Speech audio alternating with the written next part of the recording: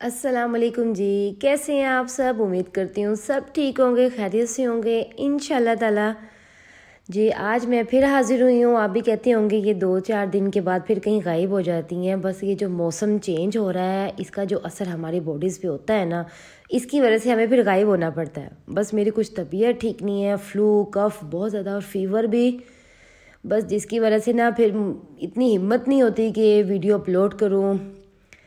तो थोड़े थोड़े क्लिप्स तो मैं लेती रहती हूँ, जैसे मुझे टाइम मिलता है या जब मेरा दिल करता है कि चले, ले लेती हूँ। आपको पता जब इंसान बीमार होता है ना, फिर ये ये काम करने का दिल नहीं करता। बस जल्दी से होता है कि जल्दी से बस खाना पीना करें और बस। तो जी, सबसे पहले मैंने उठ के ना आज थोड़ा सा गला ख़राब था तो फिर मैंने सबसे पहले एक गिलास पानी का गर्म किया।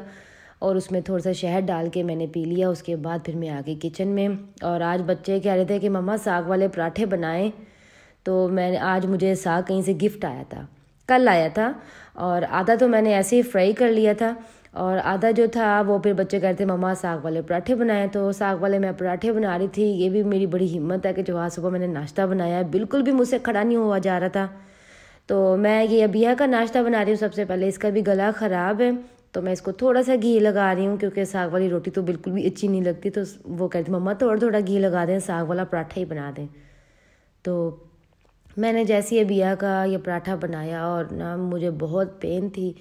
आ, मेरी फुल बॉडी में इतनी पेन थी ना तो फिर मम्मा कह रही थी कि चलो रहने दो आप मैं बना लेती हूँ। फिर अयान का और इशाल का नाश्ता मम्मा ने बना दिया। और जब तक फिर मम्मा नाश्ता बना रही थी तो फिर मैंने ना दो ब्रेड लिए और एक कप चाय का लिया और एक पेनाडोल खाई। उसके बाद जल्दी से फिर मैंने कहा, चलिए आप दोनों का बनाते हैं, फिर मैं अजहर का नाश्ता बना लेती हूँ। फिर मैं आ गई, फिर मैंने हस्बैंड का नाश्ता बनाया और ये साग वाला पराठा उनके लिए भी बनाया और ये दो चार डॉट्स हैं, यहाँ से थोड़ा सा बर्न हो गया। मैंने कहा, चलिए साग वाले पराठे को नज़र न लगे। और आज जी साथ ही बाजी आ गई थी। आज बहुत ज़्यादा बिज़ी रूटीन थी मेरी। इतना, इतने छोटे दिन हो गए और इतनी जल्दी टाइम गुजर जाता है ना कि ऐसे ऐसे चुटकियों में टाइम गुजरता है, बिल्कुल भी पता नहीं चलता। जैसे ही बाजी काम कर रही थी तो मैंने कहा, आप चलें काम करें और फिर मैं आज बना रही थी कीमा करेले। मैंने आज कीमे के साथ करेलों को भरा है तो आज मैंने भरे हुए करेले बनाए हैं। बच्चे ये ज़्यादा शौक से खाते हैं। कीमा करेले जो बनाती हूँ, वो बहुत कम शौक से खाते हैं। ये भरे हुए जो होते हैं करेले, ये बहुत ज़्यादा शौक से खा लेते हैं। अल्हम्दुलिल्लाह। फिर अयान ने कहा कि, मम्मा, आप कीमा करेले मत बनाइएगा। तो करेले भर लें आप। तो मैंने कहा, चलें, ठीक है। फिर जी, सबसे पहले मैंने ले लिया ऑयल ऑयल में मैंने प्याज, लहसुन, अदरक को सोते कर लिया। और मैंने इसमें डाल दिया कीमा। ये मैंने बहुत कम ऑयल में बनाना है क्योंकि आपको पता है जब हम किसी चीज़ में फिलिंग करते हैं ना तो ज़्यादा उसमें ऑयल ऐड नहीं करते इसलिए थोड़ा सा आपको ड्राई ड्राई लग रहा होगा। तो इसलिए मैंने कीमा डाला इसमें और ये मैंने हाफ़ के जी कीमा लिया है। और हाफ़ के जी मैंने कीमा इसलिए लिया क्योंकि मैं हाफ़ तो मैं भर लूँगी करेलों के अंदर और हाफ़ का मैं भी आपको बताती हूँ क्या करती हूँ। तो जैसे ही कीमा भुन गया अच्छे तरीके से भुनाई हो गई तो मैंने इसमें स्पाइसेस पहले ऐड नहीं करनी। पहले मैंने इसमें टमाटर और हरी मिर्चों का जो पेस्ट है, जो मैंने फ्रीज़ किया हुआ है, वो मैंने डाल दिया और साथ थोड़ा सा मैंने इसमें सॉल्ट ऐड कर दिया। और उसके बाद मैंने इसकी अच्छी से बुनाई की है। जितनी ही अच्छे तरीके से बुनाई होगी ना, उतना ही ये टेस्टी बनता है, टमाटर भी गल जाएँगे और इसकी स्मेल भी ख़त्म हो जाएगी। और ये बहुत टेस्टी होती हैं। प्लीज़ आप भी ऐसे ही बनाएँ, बहुत मज़ेदार लगते हैं। वैसे तो ये गर्मियों की ही सौगात है, मगर ये आजकल सर्दी में भी बनाए ना तो अच्छे लगते हैं, मज़ेदार लगते हैं। यहाँ पे मैंने स्पीड इसलिए तेज़ की है क्योंकि मैं आपको दिखाना चाह रही थी कि मैंने ये इतनी देर इसकी बुनाई की है। इसकी मैं बुनाई करती रही हूँ ताकि इसके टमाटर गल जाएँ और इसकी स्मेल ख़त्म हो जाए। और जैसे कि अच्छे तरीके से इसकी भुनाई हो जाएगी और मैं थोड़ा थोड़ा पानी ऐड करके ना इसमें इसको भूनती रहूँगी ताकि ये मसाला नीचे ना लगे और साइड से ये बढ़ ना हो। फिर मैं इसमें डाल दूँगी सारे स्पाइसेस नमक तो मैंने पहले डाल लिया था, लाल मिर्च और थोड़ी सी मैं इसमें काली मिर्च भी ऐड करती हूँ और सूखा धनिया और हल्दी डाल के मैंने अच्छे से बुनाई कर ली और ये जैसे वो ठंडा हो गया मैंने एक प्याली इसमें से ले लिया और उसमें मैंने एक मैंने ना प्याज चॉप कर ली, मीडियम साइज़ की प्याज हो गई और एक ही मैंने टमाटर और धनिया ये चॉप कर लिए, इनको अच्छे से मिक्स कर लिया एक बाउल में और जो कीमा जो मैंने एक प्याली लिया था वो अब डाला और मैंने इसको मिक्स कर लेना। और इसमें मैंने कोई भी चीज़ ऐड नहीं करनी है। क्योंकि कीमा जो मैंने भुना हुआ उसमें सारे मसाले हैं, उसी से ही इसका टेस्ट अच्छा सा आ जाएगा। कि आप और आगे से चाट मसाले डालेंगे, वो नहीं। सिंपल सा।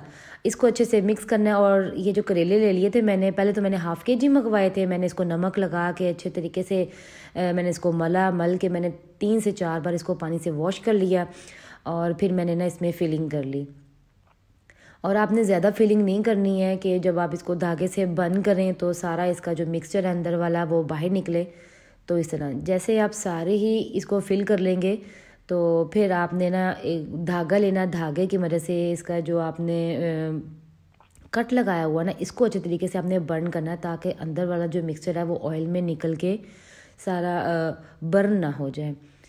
क्योंकि फिर आपको पता है, फिर करेले भी ज़्यादा कड़वे कड़वे लगेंगे तो इसलिए। जैसे ही आप सारे इसको बंद कर लेंगे तो फिर मुझे ना ये करेले लगे थे कुछ कम। तो फिर मैंने आधा किलो थोड़े से और मंगवा लिए, फिर दोबारा उसको नमक लगा के रखा, फिर उसको मला, मल के, फिर मैंने उसमें फिलिंग की तो फिर मैं इसको सिर्फ़ शैलो फ्राई कर रही हूँ। मैंने इसको ज़्यादा फ्राई नहीं करना शैलो फ्राई करूँगी कि इसमें कलर आ जाए और हाफ़ डन उसमें हो जाए। और ये जो बचा हुआ कीमा था, अब मैं इसके अंदर डाल दूँगी ये बाकी सॉरी जो मैंने शैलो फ्राई जो किए हुए थे करेले, अब मैं बचे हुए कीमे में ये ये डाल दूँगी और इसको पकने के लिए रख दूँगी। क्योंकि कीमे के अंदर भी अभी पानी था तो उसके पानी में ये अच्छे से बन जाएँगे, पक जाएँगे।